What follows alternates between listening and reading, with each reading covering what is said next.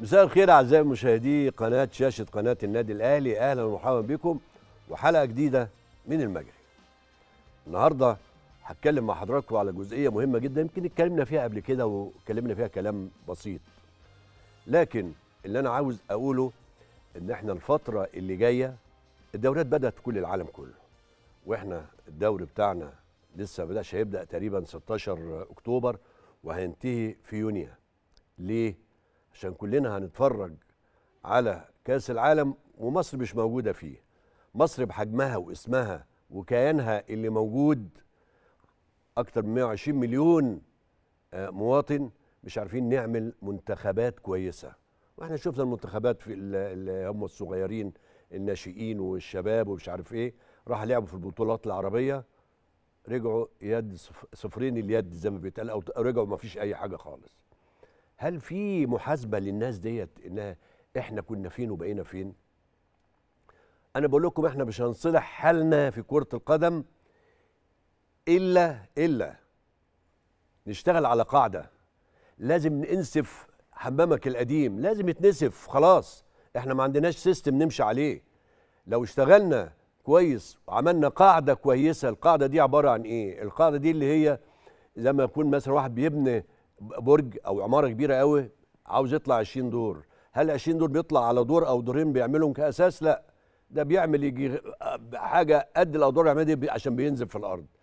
إحنا بنتكلم على القاعدة. القاعدة إيه هي؟ القاعدة عندنا إحنا لازم نشتغل على الناشئين. لازم نقوي نقوي بطولات الناشئين. إحنا بطولات الناشئين وقبل كده اتكلمنا فيها معظم اللي بيلعبوا في الأعمار السنية بتاعتهم كلهم مزورين. وللأسف منطقة الكورة اللي هي تابعة لكل محافظة عارفة الكلام ده. فالكلام ده ما ينفعش. إحنا تملي بنشتغل على آه آه ب- يعني على على مصيبة بتحصل.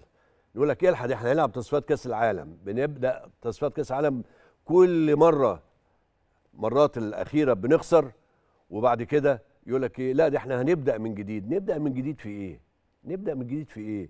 لازم نبدي القاعدة صح لازم نشتغل مع ناشئين صح؟ وجبنا قبل كده مدربين ونجوم بيشتغلوا في قطاعات الناشئين. واتكلموا على الفساد اللي فيه. وأنا يعني سوري إن أنا بقول كلمة فساد كلمة فساد دي ما في فساد إداري وفي فساد مالي. إحنا الدوري العام عندنا لسه ما بدأش. وده ليه؟ لأن تراكمات قديمة. إحنا الدوري هيبدأ 16 أكتوبر وهينتهي في يوليا في أو في يونيو أتمنى أنا الكلام ده بقوله أتمنى إن الدوري دوت يمشي حسب الجدول اللي هيحصل. بيتحط جدول من بداية الموسم لنهاية الموسم. ببص أحيانا بلاقي جدول الدوري العام يقول لك أصل في جهة ما قالت لا الماتش ده ما ينفعش هنأجله. تبص تلاقي النادي يقول لك لا ما لعبوش دلوقتي هلعبوا بعدين. الكلام ده ما ينفعش يا جماعة ما فيش حاجة في العالم. مفيش حاجة في العالم كده. إحنا بنشوف الدوري الإنجليزي بيبدأ في يوم كذا وبينتهي في يوم كذا. بيبدأ في الساعة كذا وبينتهي الساعة كذا. إحنا نفسنا كان زمان إحنا كنا كده. زمان كان عندنا السيستم صح. لذلك إحنا آه إحنا كان عندنا نجوم كتيرة جدا وكان عندنا مواهب. فين المواهب دلوقتي؟ مفيش مواهب. ليه؟ لأن مسابقات الناشئين اللي بتتعمل زي ما قلت لكم الأعمار السنية اللي اللعيبة بتشترك فيها. تلاقي واحد عنده 18 سنة واحد عنده 13 سنة. طب إزاي؟ فين تكافؤ الفرص؟ عشان كده بقول لاتحاد الكورة سمي كده وأنت بتبدأ موسم جديد وقول لنا نزل الجدول بتاعك ما تقوليش أنا منزل ثلاث أسابيع لا أربع أسابيع لا مش عارف إيه. وبعدين ندخل الجمهور. هيحصل إيه ودخلنا الجمهور؟ مش في دلوقتي شركة تذكرتي هي اللي بتبص وعارفة مين اللي بيخش. وشفنا ال- رابطه الأندية المحترفين ادي جزاءات على على الأندية. عاوزين نشوف الملاعب مليانة. عايزين نرجع تاني لحالتنا اللي كنا فيها مكسرين فيها إفريقيا. وده بإيدينا إحنا مش بإيد أي حد تاني. مش بحكاية إن أنا أجيب مدرب أجنبي عشان يصلح لي المنظومة. لا لا لا لا الكلام ده كله فاضي. ما أنا ممكن أجيب مدرب أجنبي غالي جدا بياخد مرتبات عالية جدا. وما عندوش الماتيريال اللي هو يبدأ يشتغل بيها. العملية مش عملية إن أنا اتعاقدت مع مدرب آه، عالمي. طب وبعدين؟ عندك نظام البطولة فاشل. البطولة بتبدأ بلائحة وبتنتهي بلائحة. بتيجي الحكام بيفسدوا لك ال- ال- ال- الدوري العام أو كأس مصر والكلام ده كله. العالم كله يا جماعة إحنا بنشوف دلوقتي الفار على مستوى العالم الفار حتى عملوا تقنية جديدة للفار عشان يسهل ال- العملية إحنا بناخد بالساعة في ناس بتاخد بال- بالعشر دقائق ويا ريتها بتضاف للوقت المحتسب لا ده بيضاف وبعدين بيجي. ما بيضافش ويجي في الآخر يقول لك يقوم مصفر يقول لك لا دي مش امال انت بتوقف الماتش كل ده عشان خاطر إيه؟ مش في ناس قاعدة على. على الفار جوه؟ مش في ناس قاعدة على الشاشات بتبص على الكلام ده كله؟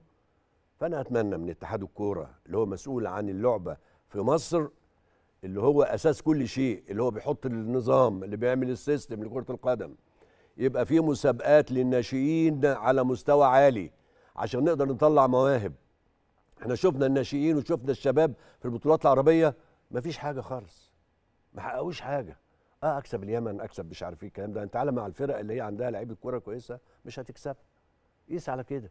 إحنا ما خدناش البطولة العربية السنة الموسم اللي فات آه، ولا آه، ولا شفنا آه، الأمم الأفريقية اللي إحنا خسرناها ولا وصلنا كأس عالم. طب في إيه تاني؟ إحنا 120 مليون. الناس اللي بيديروا الكورة في مصر فوقوا شوية. فوقوا. خلي منظومة متكاملة. يمكن الحكام بدأت تتعدل شوية لما الراجل الإنجليزي جه. طب الكلام ده إحنا ما نعرفش نعمل الكلام ده؟ أمال بنقول الحكام بتاعتنا متالقه قوي في إفريقيا ومكسره الدنيا في إفريقيا. وإحنا هنا في مصر محلك سر. هو في إيه؟ لما بدأ الراجل يجي عشان بدأ مفيش مجاملات اللي بقت ماشية زي الساعة. طب ما إحنا مشيش ليه؟ لازم نجيب واحد أجنبي عشان يمشينا زي الساعة. لازم نعمل مسابقات آه، أي كلام للناشئين. أمال هتطلع مواهب منين؟ بتطلع مواهب منين؟ الكلام ده كله لازم اتحاد الكره يبقى عنده وعي مع احترامي لكل الناس الموجوده مع رابطه الانديه المحترفين مفيش مجامله السنة اللي فاتت كان في مجامله في كل شيء مش هقول نادي على حساب نادي كان مجامله في كل شيء ممكن لنادي على حساب نادي أو ممكن النادي في هيقع تحت مكان نادي تاني. ده كان بيحصل. مش عيب. أه بقول لكم كان بيحصل. بدأت المنظومة في الآخر خالص. ها؟ بدات تبان فهو الجدول اللي محطوط السنة دي هو لسه ما نزلش الجدول العام. فعشان كده عندكم وقت. ظبطوا نفسكم كويس. أنا عارف إن الحكام بتستعد دلوقتي ودي برضو نصيحة للاتحاد المصري لكرة القدم اللي بيقول لك دلوقتي الحكام تبع الاتحاد المفروض ما تبع الاتحاد. دي المفروض تبع الرابطة. العالم كله ماشي كده. ما إحنا بنقول رابطة الأندية المحترفين ليه؟ هل الحكم محترف؟ مش محترف. هيبقى تحت مظلة اتحاد الكورة. عشان الناس اللي بتلعب بصوابعها. ما ينفعش ما ينفعش. لازم لجنة الحكام تبقى لجنة منفصلة عن اتحاد الكورة. طول ما هي في اتحاد الكورة طول ما هيحصل المنظر اللي شفتوه السنة اللي فاتت. ده إحنا نحمد ربنا اللي شفناه في التحكيم السنة اللي فاتت ده. مش هقول لك يمكن واحد يقول لك أنت بتتكلم على عشان النادي الأهلي. لا أنا بتكلم على معظم في أندية كتير قوي. في أندية اتظلمت. في أندية اتظلمت آه. فعشان كده أنا بقول لجنة الحكام السنة اللي فاتت خلصت بحلوها حلوها ومرها وكل حاجة. إحنا بنبدأ صفحة جديدة. تصور بقى لو الحكام الأخطاء اللي هي عملتها السنة اللي فاتت ديت لو في جمهور الدوري ده ما كانش هيكمل. ما كانش هيكمل. فعشان كده بقول للمسؤولين فكروا كويس. قبل ما يطلع الجدول فكروا الماتشات دي هتتلعب ولا لأ. وبعد كده أنا عاوز أعرف إحنا اتحاد الكورة إحنا ليه مانعين إن النادي الأهلي يروح يلعب في الإسماعيلية وبورسعيد؟ ليه؟ ده إحنا مصريين كلنا مع بعض يا جماعة. حط نظام وحط سيستم ليه مانعين الجماهير تيجي استاد القاهرة؟ دلوقتي بنشوف في الدول العربية كلها جمهورها حاجة تفرح في الملاعب. اللعيبة بتاعتنا بتفاجئ لما بتروح تلعب بره ملعبها من الجمهور. ده بيأثر على اللعيب؟ آه بيأثر على اللعيب. ضغط عصبي وضغط نفسي على على اللعيب. طب ما إحنا كنا بنلعب قدام 120 130 ألف متفرج هنا في استاد القاهرة في دوري عام. مش هقول لك ماتشات دولية.